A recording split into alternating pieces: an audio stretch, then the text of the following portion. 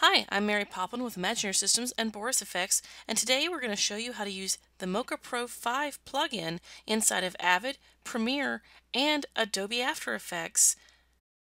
The first shot we're going to show you is a handheld shot that we're going to convert to a lockdown shot.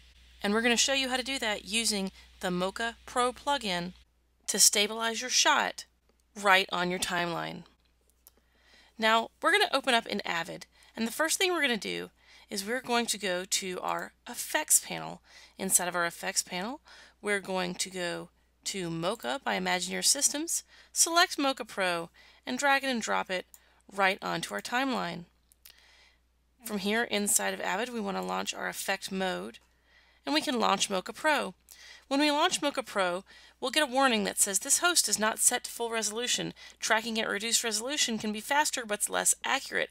And the reason that this warning pops up is because Mocha is actually reading your footage right off of your timeline. So if your footage is actually quite degraded because the resolution is proxy resolution, you want to move to full res before you track. So we're going to hit cancel.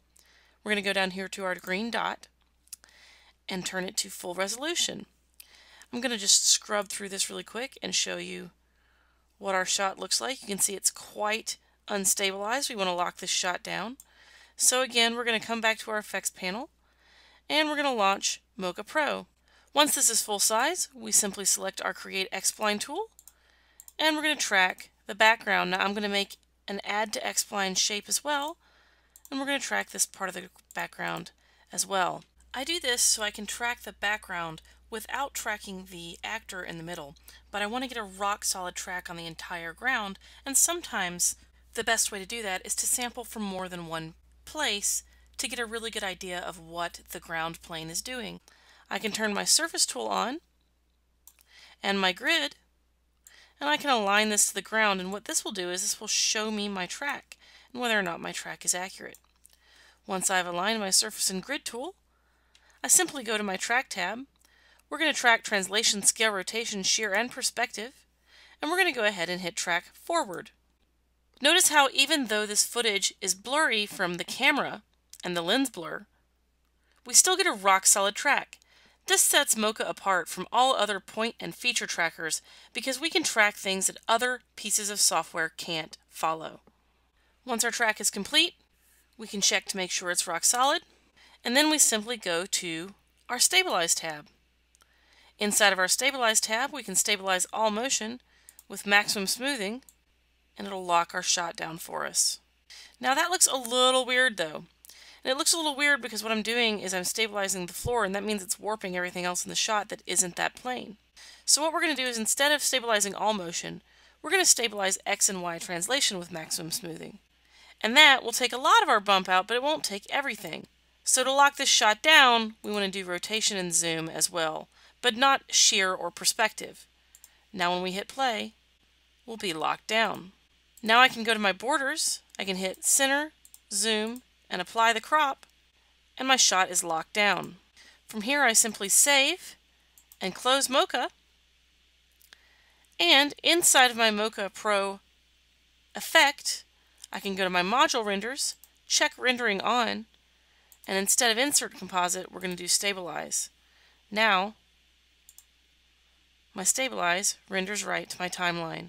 For our second shot, we're going to show you how to smooth a shot instead of locking it down, like taking this handheld camera and making it more like a pan. This technique works the exact same inside of Premiere. We're going to go into our effects panel. We're going to search for Mocha Pro and drag and drop our effect right onto our clip. Inside of our effects controls, we can simply launch Mocha Pro.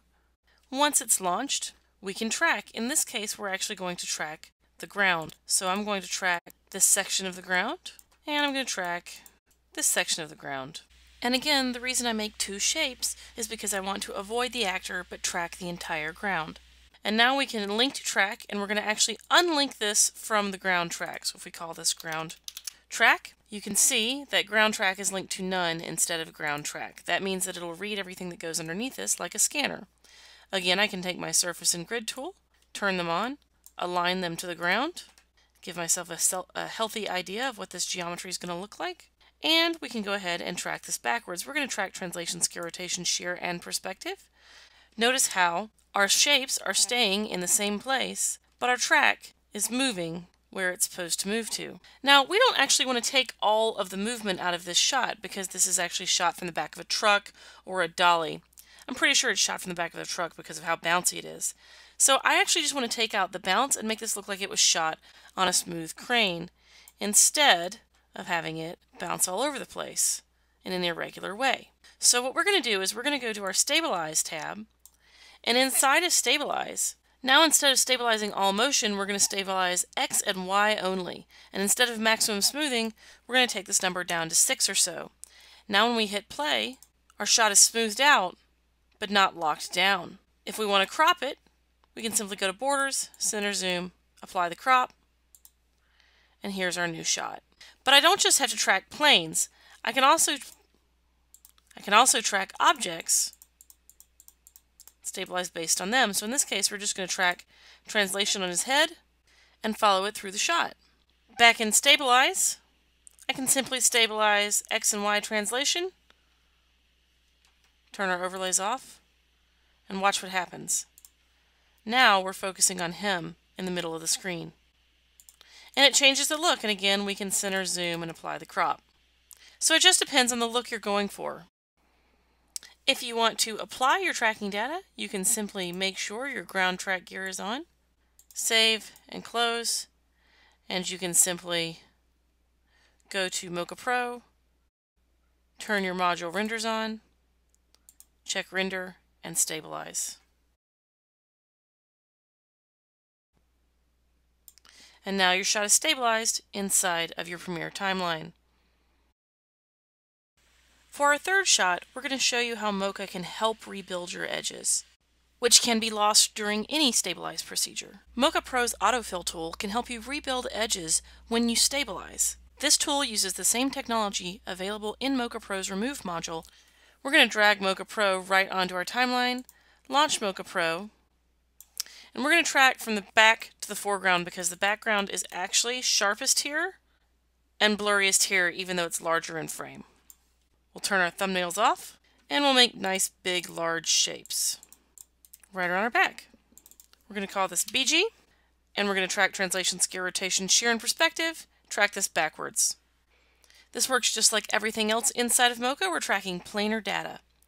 Once we've tracked this planar data, instead of doing center zoom and apply crop, what we're going to do is we're going to use this data.